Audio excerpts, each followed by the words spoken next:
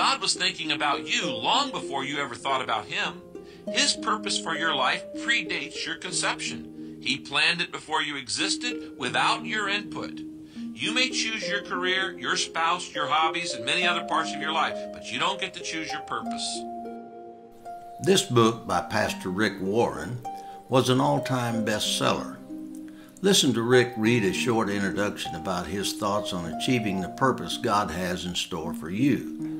Then listen to some readings from the Bible to learn more about how God has helped other people fulfill their purpose and how He plans to help you achieve the purpose He created for you. You are not an accident. Your birth was no mistake or mishap and your life is no fluke of nature. Your parents may not have planned you, but God did. He was not at all surprised by your birth. In fact, He expected it. Long before you were conceived by your parents, you were conceived in the mind of God. It is not fate, nor chance, nor luck, nor coincidence that you are breathing at this very moment. You are alive because God wanted to create you. The Bible says, The Lord will fulfill His purpose for me. God prescribed every single detail of your body. He deliberately chose your race, the color of your skin, your hair, and every other feature. He custom made your body just the way He wanted it. He also determined the natural talents you would possess and the uniqueness of your personality. The Bible says, You know me inside and out. You know every bone in my body. You know exactly how I was made, bit by bit, how I was sculpted from nothing into something. Because God made you for a reason, He also decided when you would be born and how long you would live. He planned the days of your life in advance, choosing the exact time of your birth and death. The Bible says, You saw me before I was born and scheduled each day of my life before I began to breathe. Every day was recorded in your book. God also planned where you'd be born and where you'd live for His purpose. Your race and nationality are no accident. God left no detail to chance. He planned it all for his purpose. The Bible says, from one man he made every nation, and he determined the time set for them and the exact places where they should live. Nothing in your life is arbitrary. It's all for a purpose. Most amazing, God decided how you would be born. Regardless of the circumstances of your birth or who your parents are, God had a plan in creating you. It doesn't matter whether your parents were good, bad, or indifferent. God knew that those two individuals possessed exactly the right genetic makeup to create the custom you he had in mind. They had the DNA God wanted to make you. While there are illegitimate parents, there are no illegitimate children. Many children are unplanned by their parents, but they are not unplanned by God. God's purpose took into account human error and even sin. God never does anything accidentally, and he never makes mistakes. He has a reason for everything he creates. Every plant and every animal was planned by God, and every person was designed with a purpose in mind. God's motive for creating you was his love. The Bible says long before he laid down earth's foundations, he had us in mind, had settled on us as the focus of his love. God was thinking of you even before he made the world. In fact, that's why he created it. God designed this planet's environment just so we could live in it. We are the focus of his love and the most valuable of all his creation. The Bible says God decided to give us life through the word of truth so we might be the most important of all the things he made. This is how much God loves and values you. In Exodus chapter 9, the Lord said to Moses, Get up early in the morning and confront Pharaoh and say to him, This is what the Lord says I have raised you up for this very purpose. So God had created Pharaoh for a purpose and was about to tell him his purpose. But before we can really understand God's plan, we need to hear some background information from God. And the Lord told Moses, When you arrive back in Egypt, go to Pharaoh and perform all the miracles I have empowered you to do. But I will harden his heart so he will refuse to let the people go. Did you catch that? Before Moses goes back to Egypt, God says he will harden Pharaoh's heart. that is, make him stubborn, and he will not let the Israelites go. God plans to use his supernatural mind control on Pharaoh. So they took soot from a furnace and stood before Pharaoh.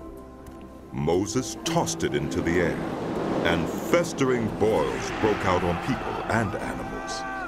The magicians could not stand before Moses because of the boils that were on them and on all the Egyptians. But the Lord hardened Pharaoh's heart, and he would not listen to Moses and Aaron, just as the Lord had said to Moses. After hardening his heart again, in verse 16, God tells Pharaoh what purpose he had chosen for him. I have raised you up for this very purpose, that I might show you my power, and that my name might be proclaimed in all the earth. So Pharaoh's purpose was not for his benefit, nor for all the people afflicted by the plagues. Then after a few more plagues, hear this. Pharaoh quickly summoned Moses and Aaron and said, I have sinned against the Lord your God and against you. Now forgive my sin once more and pray to the Lord your God to take this deadly plague away from me. But the Lord hardened Pharaoh's heart, and he would not let the Israelites go. Then after the plague on the firstborn, where all the firstborn males of the Egyptians including Pharaoh's son, were killed, Pharaoh did this. During the night, Pharaoh summoned Moses and Aaron and said, Up! Leave my people, you and the Israelites, who worship the Lord as you have requested.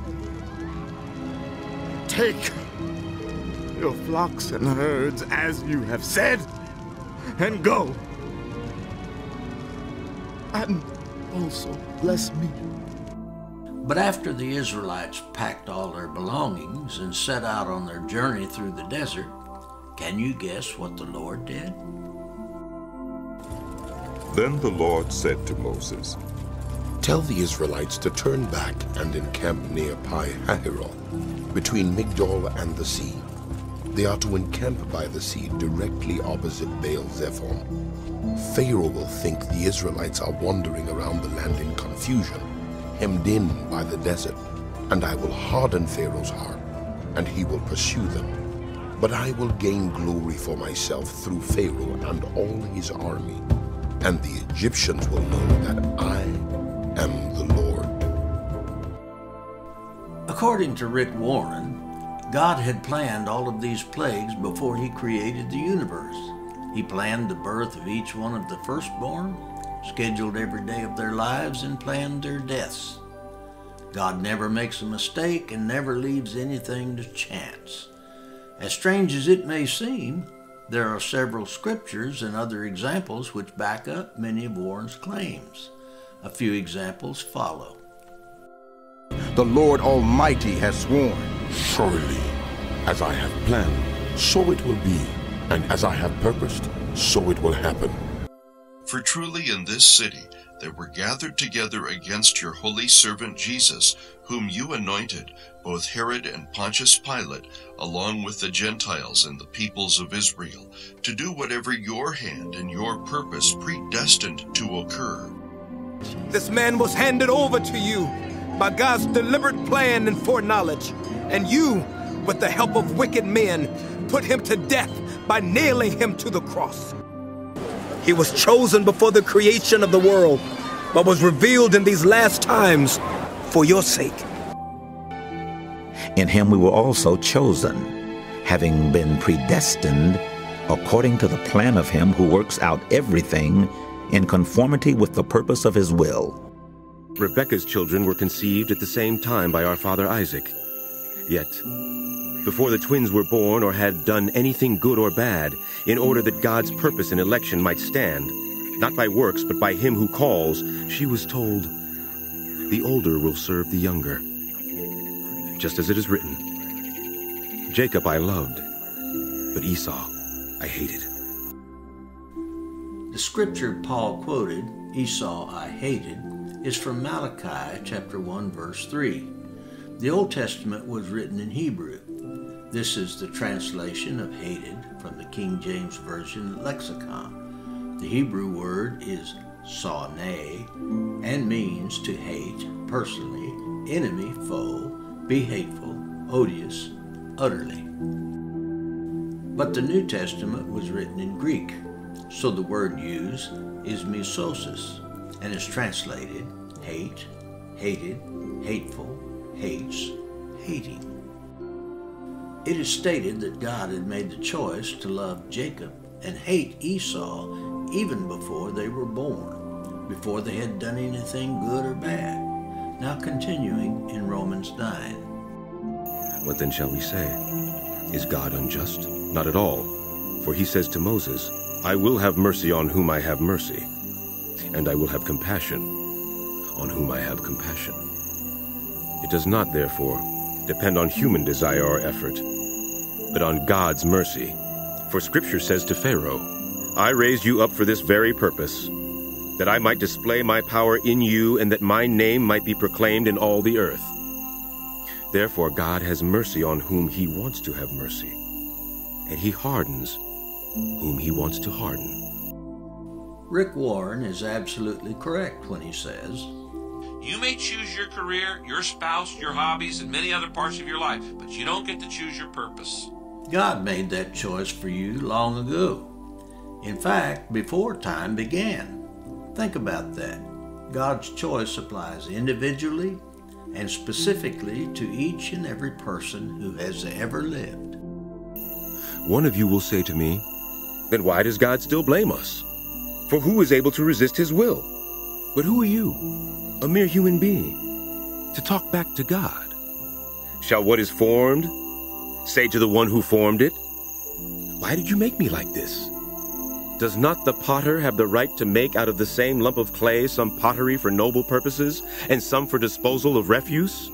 What if God, although choosing to show his wrath and make his power known, bore with great patience the objects of his wrath prepared for destruction? And another scripture says, This is the stone that will make people stumble, the rock that will make them fall. They stumbled because they did not believe in the word.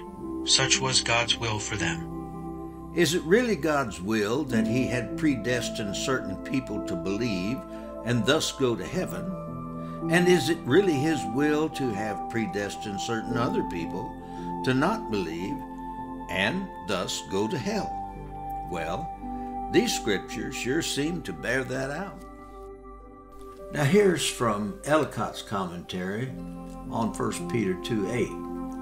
We may say that God puts men sometimes into positions where, during this life, they almost inevitably reject the truth. This is implied in the very doctrine of election. For example, in 2 Thessalonians 2.13, where, if God selects one man out of the hundred for salvation through belief of the truth, it seems to follow logically that the 99 are appointed to have no share in that salvation through disbelief of the truth. Now, Gill's exposition.